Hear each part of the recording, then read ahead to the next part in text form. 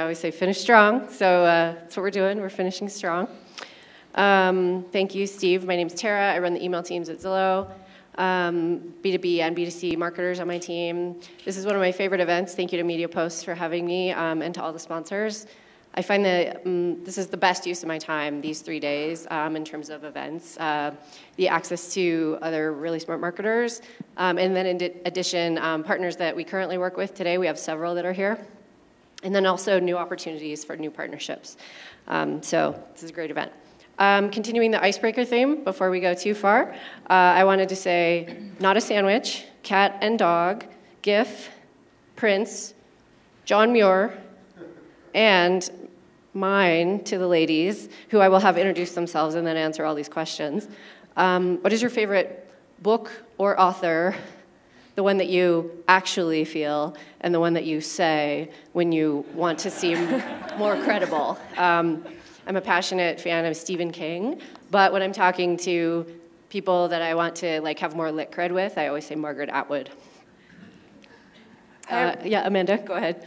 Hi, everyone. Um, I'm Amanda, just chatted with you um, from Scotts Miracle-Gro For the book that I love, and it's, I don't, I love it, and, and don't judge me. Um, I'm in my 30s, but I, I do love Harry Potter. I grew up with Harry Potter. I love the book series. I'm not a super fan of the movies, but oh my gosh, I could read them over and over. But that's not usually what I tell people. I tell people the book Presence by Amy Cuddy. It's really interesting. It's kind of that psychological aspect of behavior, how you talk, how you sit, and how people kind of read you. So super interesting. Uh, but to go through all of the other icebreakers that have kind of been through. So hot dog is not a sandwich. Team dog, GIF. Uh, I'm a country fan, so I love Jason Aldean. And if I had to go back in history and meet somebody, it would be Frank Lloyd Wright. I was actually previously in architecture school. I wanted to be an architect, and I love him. He's my favorite architect. It's a pretty solid list. Uh, my name is Sonia Williford Gill. I'm manager of CRM at 7 Eleven. I've been there for about two and a half months, um, so I'm a veteran at this point. Um, if I had to go through my list, I'll get through the list first and then I'll answer the last question. Um, hot dog is not a sandwich, that's gross. Um, team dog for sure. Um, GIF, not even a question again. um, favorite artist or band would be David Bowie. Um, and if I had to go back in time and could meet someone, I think it would be um, Kurt Vonnegut. He's a favorite author of mine, um, not the one I'm about to list a sec- in a second, but uh, would be an amazing conversation. Uh, probably a lot of sarcasm, but a lot of learnings too. Um, as far as my favorite author or favorite books to read, um, I don't tell anybody this because like it's everybody's answer now, following along in the fantasy theme. Um, George R. R. Martin, I really did enjoy reading the Game of Thrones books, but like after the series and everything else, I just don't really talk about it anymore. Um, as far as my uh, favorite author that I would tell somebody when I want lit cred, uh, Victor Villaseñor, um, Rain of Gold is probably one of my favorite books. It's an immigrant story and it's beautifully told. Um, it's just an amazing story. So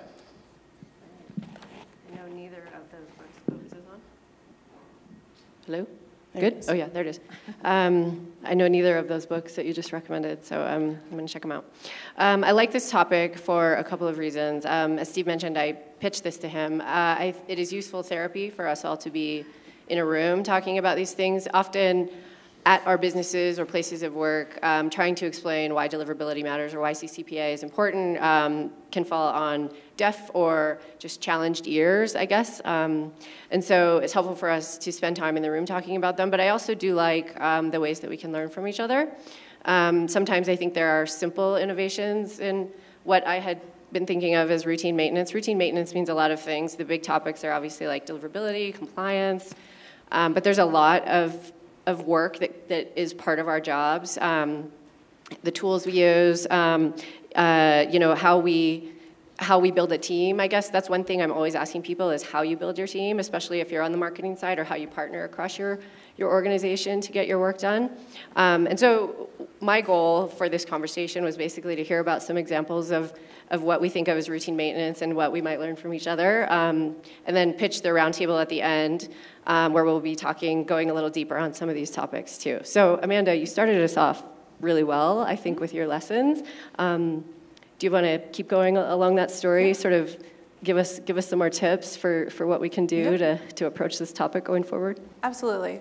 So when I ask people at my company um, what they think I do at work, they say, "Oh, you just push the send button, right? It's email. It's easy."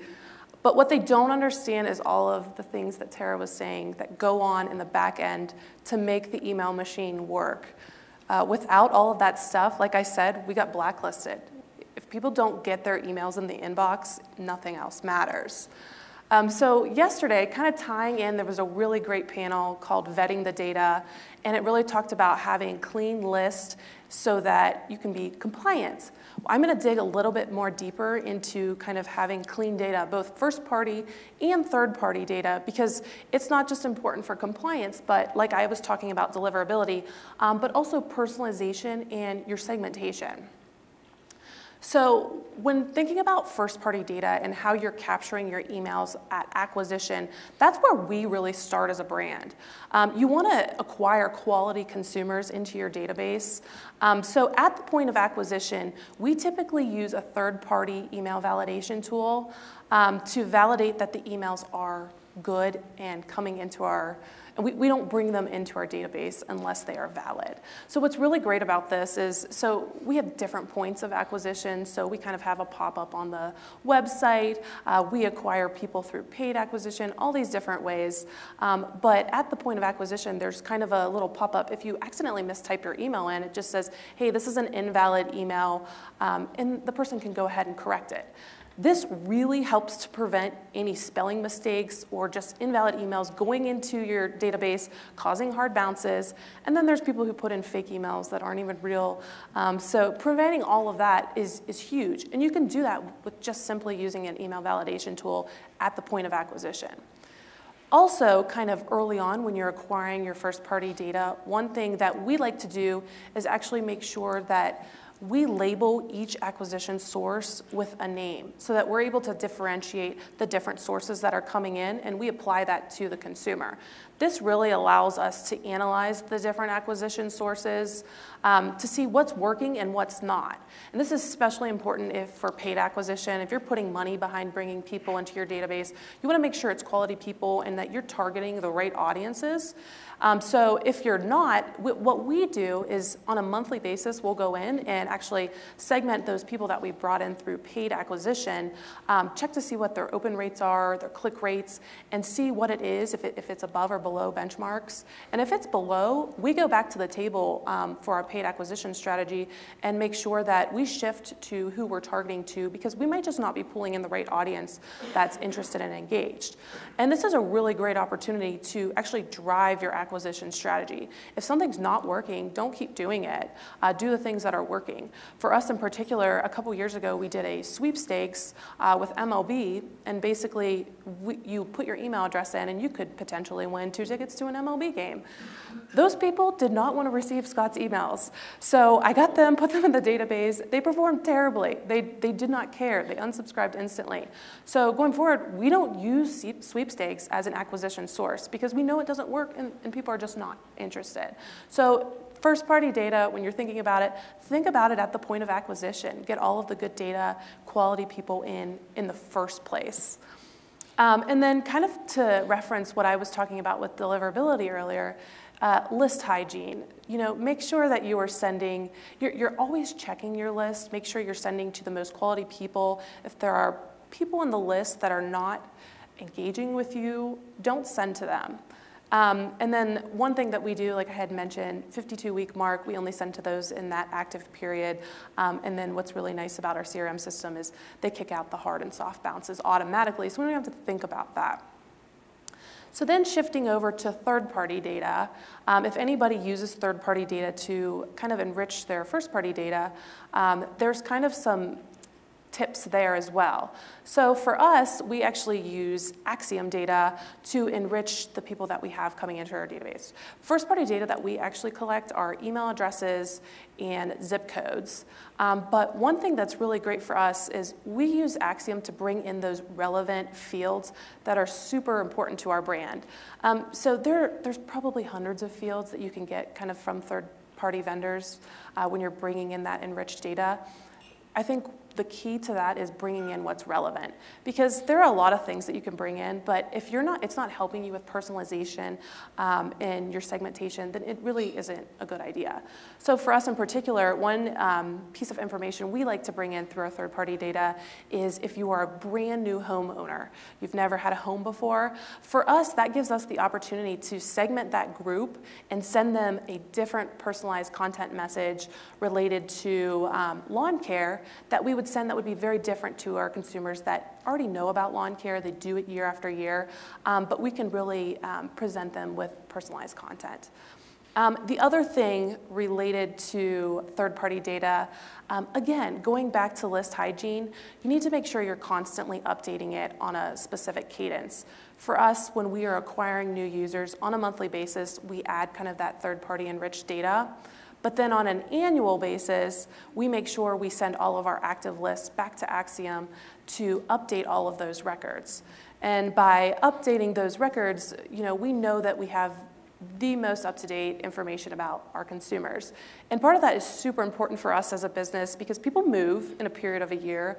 Um, and zip code is a really key component to our segmentation just for lawn care because um, you know, the grass type in Florida is very different than the grass type in Boston, Massachusetts. So if we promote a product in Florida, it, it's probably not the same product we would promote in, in Boston, and you could actually burn your grass. So it's super critical to have the most update to information. So kind of going back to how critical it is to have um, clean list and clean data in order to help you with your deliverability, personalization, and segmentation. Um, and then finally, I guess the one key takeaway that I would say for all of this um, don't be afraid to cut your list. I think there's always this intimidation of, I have to send to everybody. You know, you get the, the whisper in the ear, your ear from leadership saying, why don't we just send all? What's the problem with that? Um, it's okay to say no, and it's okay to explain why. Um, I think people are open to understanding why, and we always say, go back and test it. You know, show that the most engaged people and um, not everybody, you're actually going to have higher open rates than sending to all. So don't be afraid to cut your list. Um, that's kind of my one key takeaway to make sure that you are sending personalized information and you're segmenting properly. We always say um, get more out of less with regard to that, right? Um, exactly. Um, I feel like we should talk about like future partnerships between new home buyers and teaching them how to. We should. We should. We should talk about that. Be perfect. All right, um, opportunity. Um, I have two questions for you before we move to Sonia. Um, you had mentioned IP warming every year. Is that because mm-hmm. of the seasonality of your business? It is, and I would say it's unique to us. It's probably not unique to every brand. Um, we really don't have a lot of relevant content or products to even talk about at this time. I mean, just think if you received a Scotts Lawn Care email right now and you know, you live here in Utah, it's kind of weird. You're not thinking about lawn care right now. And honestly, you're not going to buy somebody in your family a bag of fertilizer for Christmas. So there's really not a lot of content opportunities. So we, we don't go completely dark, but um, we kind of talk about the things that could be relevant. So that's when we rely on Miracle-Gro and talk about indoor growing and indoor plants. Thinking about IP warming every year makes me be like, Whew. yeah, it's a nightmare. um, and then the last one, you mentioned validation. Do you partner with someone on validation, or do you have a homegrown tool? Yeah, we actually use Validity, so third-party tool. All right, shout out Validity. Yep. Um, I learned something amazing um, from Sonia, who I'm going to have introduce herself. But the thing I learned was that 7-Eleven will deliver beer to you. Totally. Yeah, so that's Not weird and, and, amazing. but, um, but, Sonia, please tell us who you are and, and what yeah, your sure. job is. So my team, um, CRM, manager CRM at 7-Eleven, my team handles all of our external communications and the two products that we kind of service, I suppose, if you want to call it that, are um, our loyalty program, which is 7 Rewards. We have an app. And then we also have a um, burgeoning delivery program, which is called 7 Now. Um, it's not everywhere, but yes, one of the big um, claims for, or claims to fame for that program is that we're able to deliver alcohol. So it's especially good if you're partying and you run out of something to drink, you don't want anybody to go back out and get anything. Um, you can actually have it delivered um, in 30 minutes or less. um, November, I think we were under, so it was huh. pretty good. That's amazing. Um, so, can you give us a, a, favorite example of what, what you would think of as, as routine maintenance and, and, the way that you approach it? Absolutely. I like that you call it favorite example as though this is such a fun topic, yeah. right? Um, one of the things that I learned pretty quickly um, early on in my email career um, is how often we just kind of set and forget triggers. Um, especially if we're trying to use tailored content and build those triggers out, for example, onboarding content. Or um, in my past life, I worked in video games, so we had an onboarding program that was related to uh, if you purchased a new console. Um, at 7-Eleven, I've actually gotten very, I'm very fortunate to have joined early on in their CRM, bringing CRM in-house. And so as we're building out journeys and triggers and things of that nature, all of this stuff came flooding back. Because I realized, you know, as we're setting up these programs, we need to ensure that they're fairly evergreen, but if they're not going to be evergreen, that we check in on them pretty frequently. And not only for the content that's in them, but even more importantly, um, whether or not they're still doing what we anticipated they would do. Oftentimes you build an onboarding program and you're like, yes, it's done. It's gonna, it's gonna make everybody so comfortable with their program, we'll never have to talk to them again. Uh, and you realize that that's not, you, know, you have to check trend lines, maybe not every day, but let's look at it at least monthly and just kind of review, hey, are these onboarding programs still working? Are we seeing, you know, a change in our volume? How can we help assist with that? Are we, you know, are we still getting the right message across?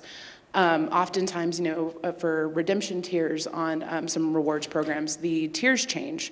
The items that you can redeem for change. So how do we ensure that we're keeping up with that? And it's not necessarily innovative. It's called a calendar, which I know has been around for a while.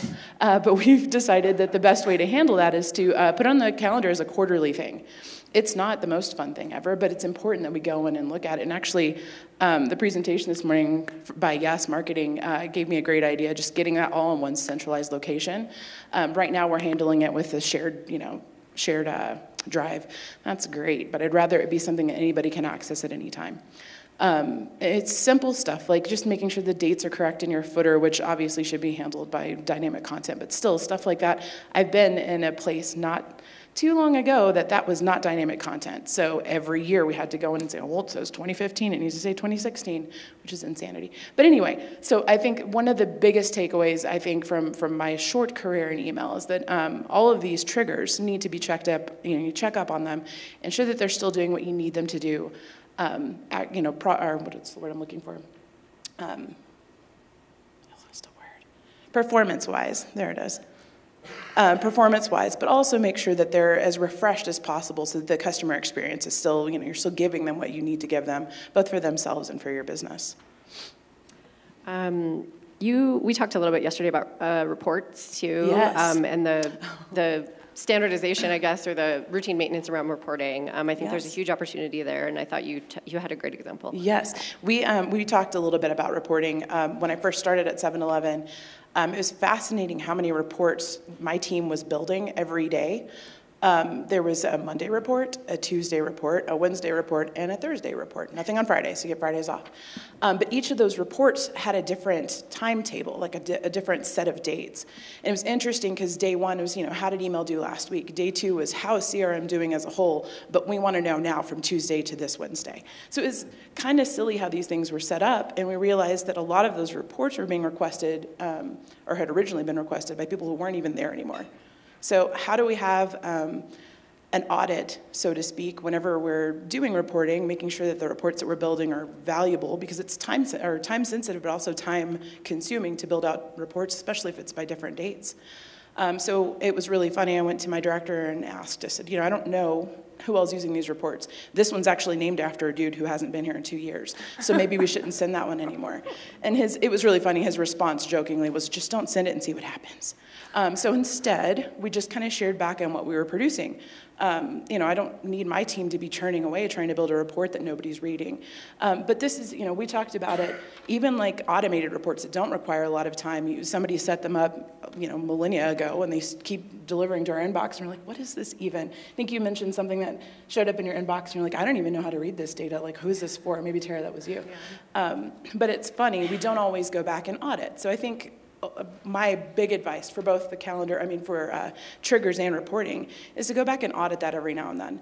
And it's not the most fun, but it does help um, alleviate your inbox a little bit. It helps with time, um, and it helps make sure that you're, what you're doing is streamlined, so you're not doing a bunch of extra busy work that nobody's even reading. Um, you made a comment that it's not it's not always the most fun, um, but one thing that put you on the spot a little bit, both of you, um, is there a way to make some of this fun? Like, do you have an idea for how a person can work with our internal teams that at least puts a different spin on some of this work? Question for either of you.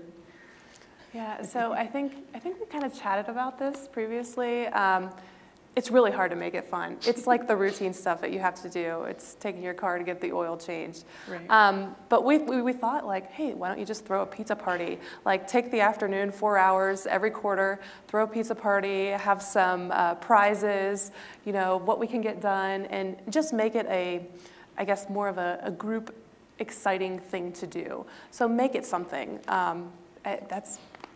I I mean, that's advocate really- for a Slurpee party, personally. Slurpee party, yeah. Get some Slurpees delivered.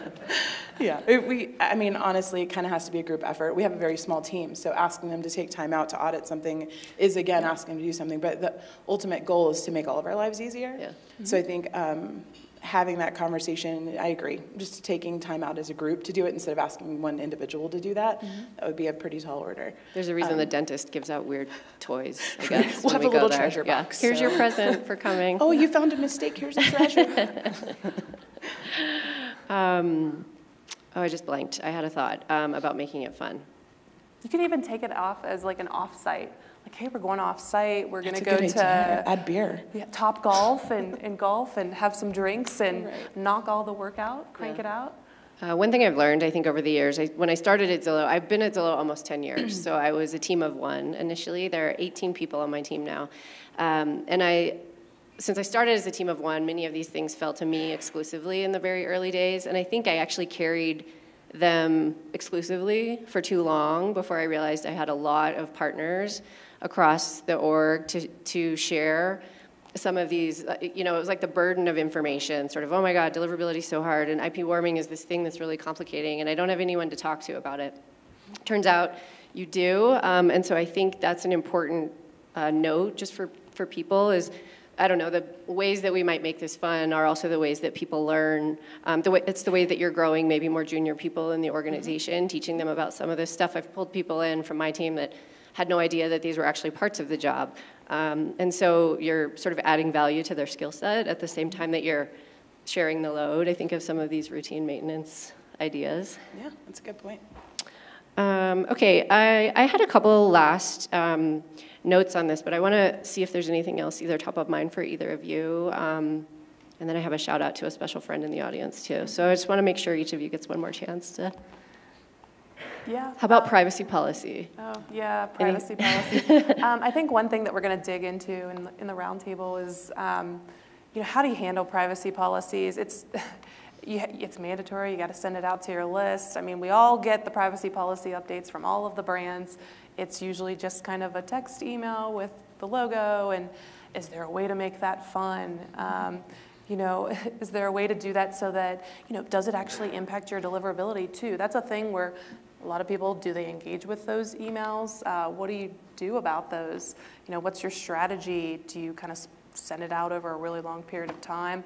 So stuff like that that you have to do. It's not fun information that consumers want to receive, but everybody's got to have a strategy for that. They do get good open rates, though. I don't know Yeah, why. weirdly, but they do. It's a text email. I remember coming here two years ago, and there was a, a short conversation about whether or not sending sneaky text emails was a good idea. I don't remember where we landed. I also really like that um, sending the oops idea. That OG Kris Jenner, right? Like that was.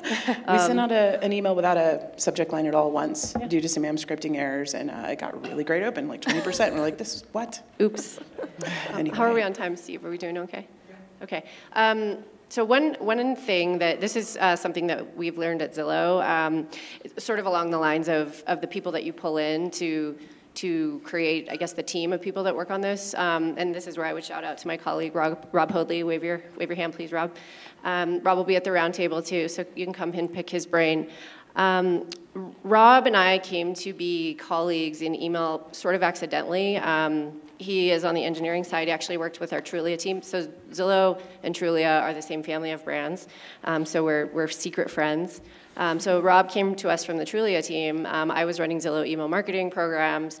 Um, I learned that Rob has extensive expertise in these topics. And so um, our partnership started sort of uh, accidentally, you know, I would pick his brain on some of this. He would help us out with things. Over, I don't know, maybe 18 months, we were able to formalize his role into what is now communications architect for the entire Zillow Group company.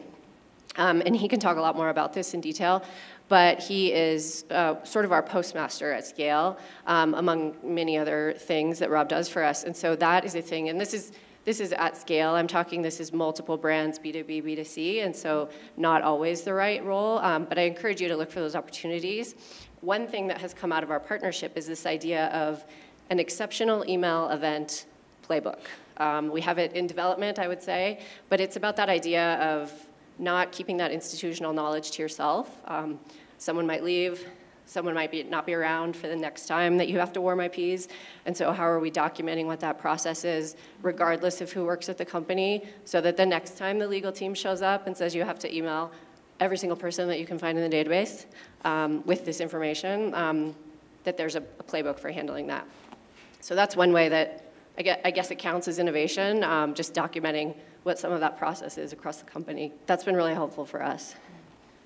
Um, okay, I think I think that touched on everything that we sort of had top of mind. I would open up to questions at this point. I'm sure people have more questions for Amanda, given the story that she told. I had an actual like uh, when I saw that Spamhaus uh, yeah, logo on the screen. she faced the boogeyman, y'all. Yeah. like real life. Yeah. So questions? Sure. This is Chester with FrontPath. Um, question is for Amanda. Uh, I actually worked with your brand, your predecessor, so I understand the mess you inherited. Uh, we stopped working with him well before it became a mess, I think, but that's just my own ego, probably. Uh, but one thing that stands out to me when we were engaged with you guys was the challenges around the Roundup brand and marketing that. I'm wondering if you guys have figured out a way to solve that or if it really still impacts the rest of your marketing efforts in such a negative way as it used to. Yeah, so I can't talk too much about it, just due to privacy stuff. But um, I will say every brand in our core brands does have its challenges. And kind of like what I was talking about earlier, when we have one brand that is, is having issues, since we're all on the same domain, it does impact the rest. So, um, with that, without going into too much detail, we have talked about breaking up that shared domain because certain brands have had issues um, with marketing to them. We've even considered, you know, I mean, some of the brands that we market to, like Tomcat, Roundup in particular, it's weed, weed control. Tomcat is uh, rodent control. You know, should we even be sending emails or should we be thinking of other ways uh, to market to people? Because we don't have a lot of people on those lists, and part of it is like, do you really want to receive emails about rodent control? So, um, but it's kind of one of those things that you know we get asked by leadership, keep doing this, keep doing this. Um, so we've kind of started to consider, since it's very it's a very different group of people than like Scotts and Miracle-Gro of actually taking them off of our shared domain and having them on their own domain. It then run, it runs into all the IP warming issues, but if one brand is really having a struggle um, with kind of deliverability because of things going on, um, it allows them to kind of stay in their own lane and doesn't impact anybody else. So, good question. Uh, Walter with MessageGears. Um, I'm afraid, Amanda, this is another one for you. Um, I was thinking through that 1 million unengaged users data lake story that you told and the struggles that you went through with Spamhaus. Um, did you think through, or were there any kind of re-engagement strategies outside of email that you tested to try to get those 1 million to kind of reactivate with you guys, or? Um, at the time, I would say I was brand new to the company. I kind of relied on all of the information everybody was telling me and I didn't know a lot about deliverability at the time. I really had never had uh, a coworker or colleague that could mentor me in that kind of fashion. Um, so I didn't really think through that. But of course, looking back, there was an opportunity to really take those lists and segment them down to very, very small groups and sending to those um, at the same time that we're sending to the already existing consumers to see how they are engaging compared to the existing. There was also an opportunity, I mean, I've been talking this whole time about using validity to validate our consumers. We should have put all of those million into uh, the validity uh, platform to see how many were actually still valid emails because we had a significant number that were hard bounces. And um, what I found out later um, and nobody was really able to tell me on the team, you know, where these all came from. But it sounded like they could have came from, they've been floating for eight, eight to 10 years they could have been in there. It was really unknown because there actually wasn't a timestamp on them.